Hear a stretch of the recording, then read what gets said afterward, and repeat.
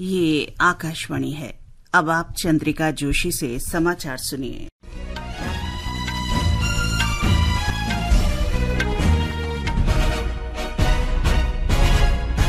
विदेश मंत्री सुब्रमण्यम जयशंकर ने आज संसद के दोनों सदनों में बांग्लादेश की स्थिति के बारे में बयान दिया। बांग्लादेश में अशांति के बीच भारत अपने राजनयिकों के माध्यम से वहाँ भारतीय नागरिकों के लगातार संपर्क में है। लगभग उन्नीस हज़ार भारतीय नागरिक इस समय बांग्लादेश में हैं, जिनमें नौ हज़ार छात्र शामिल हैं। आज राज्यसभा में बांग्लादेश की स्थिति पर बयान में विदेश मंत्री जयशंकर ने कहा कि ढाका में भारतीय उच्चायोग की सलाह पर पिछले महीने ही बड़ी संख्या में छात्र भारत लौट आए। डॉक्टर जयशंकर ने बताया कि केंद्र सरकार वहाँ रह रहे अल्पसंख्यकों की स्थिति पर नज़र रख रही है। उनकी सुरक्षा और कल्याण सुनिश्चित करने के लिए विभिन्न समूहों और संगठनों द्वारा पहल की खबरें हैं। उन्होंने कहा कि भारत इन पहलों का स्वागत करता है, लेकिन जब तक कानून व्यवस्था बहाल नहीं हो जाती, तब तक वह इस विषय में चिंतित रहेगा।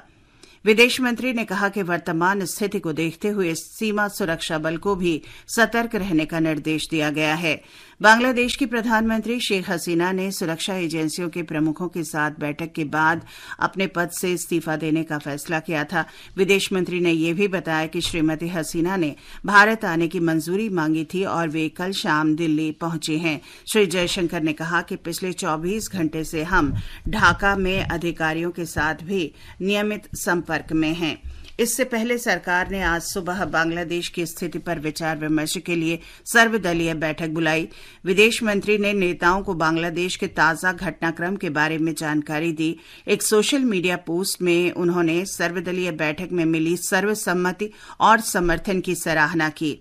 रक्षा मंत्री राजनाथ सिंह, गृह मंत्री अमित शाह, संसदीय कार्य मंत्री किरेन रिजिजू तथा केंद्रीय मंत्री और भाजपा अध्यक्ष जेपी नड्डा बैठक में शामिल हुए। लोकसभा में विपक्ष के नेता राहुल गांधी, तृणमूल कांग्रेस के सुदीप बंदोपाध्याय, एनसीपी शरद पवार, गुट की सुप्रिया सूले, राष्ट्रीय जनता दल की मीसा भारती, समाजवादी पार्टी के professor Ram Gopal Yadav, DMK party के टीआर बालू और विपक्ष के अन्य नेता भी बैठक में शामिल हुए। उधर ब्रिटेन सरकार ने बांग्लादेश की पूर्व प्रधानमंत्री शेख हसीना के इस्तीफे के लिए जिम्मेदार अराजक स्थिति की संयुक्त राष्ट्र से जाँच कराए जाने की मांग की है। शेख हसीना को कल सेना के विमान से देश छोड़ने के लिए बाध्य होना पड़ा था। ब्रिटेन के विदेश मंत्री डेविड लेमी ने कहा कि उनका देश बांग्लादेश में शांतिपूर्ण और लोकतांत्रिक स्थिति चाहता है।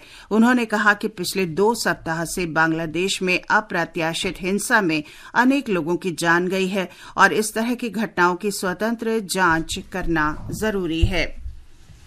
सीमा सुरक्षा बल बीएसएफ के महानिदेशक दलजीत सिंह चौधरी ने आज पश्चिम बंगाल के उत्तर 24 परगना ज़िले में भारत बांग्लादेश सीमा का दौरा किया।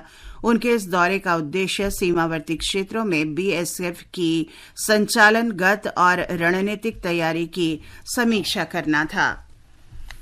फिजी की राजधानी सुआ में भारतवंशियों और भारत मित्रों ने आज राष्ट्रपति द्रौपदी मुर्मू के सम्मान में स्वागत समारोह का आयोजन किया। इस अवसर पर राष्ट्रपति ने कहा कि फिजी में उन्हें घर जैसा महसूस हो रहा है। उन्होंने भारतीय मूल के लोगों द्वारा अपनी संस्कृति और पारंपरिक मूल्य अक्षुण्ण रखे जाने की सराहना की। राष्ट्रपति फिजी की दो दिवसीय यात्रा पर हैं और उन्हें फिजी के सर्वोच्च नागरिक सम्मान से सम्मानित किया गया। राष्ट्रपति मुर्मू कल से 9 अगस्त तक न्यूजीलैंड के दौरे पर रहेंगे। सरकार ने आज कहा कि देश में पिछले 10 साल में वामपंथी उग्रवाद में कमी देखी गई है। लोकसभा में प्रश्नकाल में जवाब देते हुए गृह राज्य मंत्री नित्यानंद राय ने कहा कि वामपंथी उग्रवाद से प्रभावित जिलों की संख्या अब घटकर अड़तीस रह गई है, जबकि 2013 में ये संख्या 126 थी।